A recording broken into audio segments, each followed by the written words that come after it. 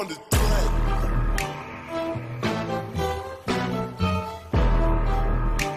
Awadi Supandana international. Voilà que le monde connaît un ennemi quand l'épidémie. La bibliothèque euh, de l'Université sec de Ziguinchor a ouvert ses portes en 2007, en février 2007. En ce moment-là, on avait juste euh, euh, 70 ou euh, 700 ouvrages qui étaient offerts par euh, la coopération française. Et aujourd'hui, nous avons évolué, mais nous offrons aujourd'hui à nos usagers un fonds documentaire riche de 23 000 euh, ouvrages. Euh, au début également, nous étions juste euh, trois professionnels bibliothécaires qui travaillent ici. Aujourd'hui, on est à cinq personnes, plus maintenant des aides bibliothécaires qui nous accompagnent. Alors, ce que nous avons aussi développé, c'est les ressources numériques. Parce qu'en fait, au début, on n'avait pas du tout des abonnements aux ressources, aux ressources numériques. Mais actuellement, nous avons euh, cinq, un abonnement à cinq bases de données documentaires. Et aujourd'hui, toutes les opérations documentaires de la bibliothèque sont entièrement informatisées.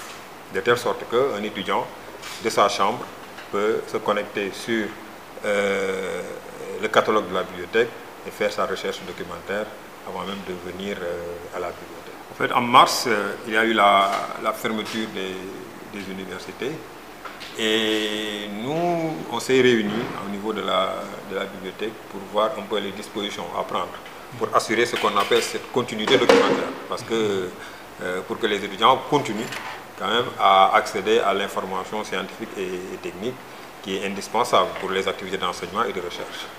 Et donc ce que nous avons fait, nous avons vraiment euh, réorienté un peu euh, nos, nos activités vers le numérique. Alors nous avons essayé de, de via euh, les adresses email, parce que tous les étudiants ont des adresses email ici. Donc nous avons utilisé ce, ce créneau-là pour les sensibiliser et les offrir et les fournir l'éventail de ressources documentaires qui étaient à, à notre disposition. Donc c'est ainsi que nous avons créé des comptes pour tous les étudiants en fait, qui en avaient besoin, surtout les étudiants de master et doctorants, sur la bibliothèque numérique ScholarVox que j'ai présenté euh, tout à l'heure, mais également sur toutes les autres euh, euh, ressources numériques auxquelles nous avons des, abonnements. Et par la suite, nous avons dit, nous avons envoyé des mails aux étudiants pour leur dire si vous avez des besoins, n'importe quel besoin, est-ce que vous, où est-ce que vous trouvez au Sénégal, vous pouvez nous envoyer votre demande, votre besoin d'information par email. Et nous, on se chargera de faire la recherche, même si c'est des documents sous format papier, nous allons charger de les faire, de les scanner, en tout cas, et de faire l'effort de vous les, envoyer. Mais actuellement, la décision de l'autorité rectorale, c'est vraiment de reprendre les cours en présentiel en, octobre. Et donc, la bibliothèque aussi est en train de se préparer pour qu'on puisse accueillir également les, étudiants en octobre. Et dans ce sens, des propositions sont faites pour qu'on puisse quand même euh, reprendre les activités documentaires au niveau de la bibliothèque en respectant euh, les mesures barrières. Alors, à ce niveau, euh, ce que nous avons donc décidé, c'est effectivement de réduire un peu la capacité d'accueil de la salle pour pouvoir respecter la distanciation physique. Ça, c'est un aspect. Le second aspect maintenant, c'est port de masque sera obligatoire, euh, lavage des mains également à l'entrée sera aussi quelque chose qui sera, sera obligatoire. Actuellement, nous, avons, nous offrons 150 places assises sur le site de la bibliothèque principale parce que nous avons d'autres sites. Nous avons une bibliothèque euh, au niveau de la faculté euh, de l'UFR Santé, qui est en, à côté- en centre-ville là. Et également, nous avons une salle de documentation au niveau du campus numérique. C'est une salle qui est réservée vraiment aux doctorants et aux étudiants de master. Voilà, ceux qui font de la recherche. Donc, euh, voilà, au total, euh, c'était une tournée à 250 places assises. Mais maintenant, avec euh, la réduction qu'on va faire, nous allons tourner vraiment autour de un peu moins de 200 places. Ouais, nous allons faire beaucoup de, de communication, beaucoup de donner beaucoup d'informations sur les ressources numériques parce que nous voulons vraiment que les étudiants utilisent les plateformes numériques euh, qui sont à leur disposition parce qu'on en a quand même on a une bibliothèque numérique ScholarVox qui fait 60 000, euh, 60 000 ouvrages plus d'autres bases de données comme Open Edition, comme Justor, auxquelles nous avons des, abonnements. Et nous voulons vraiment que les étudiants exploitent également euh, ces ressources. Maintenant, pour l'accès maintenant aux, espaces documentaires, voilà, donc nous avons mis en place, euh, en train de discuter, parce qu'à l'université, le recteur a mis en place un comité qui s'appelle Comité Santé Covid-19. Et ce comité-là est en train de travailler pour préparer la rentrée. Moi-même, je fais partie de, ce, comité-là. Et donc, ce qu'on a retenu euh, pour l'instant, c'est vraiment d'ouvrir la bibliothèque, mais en réduisant, comme je l'ai dit tout à l'heure, le nombre de places assises pour respecter la distanciation physique.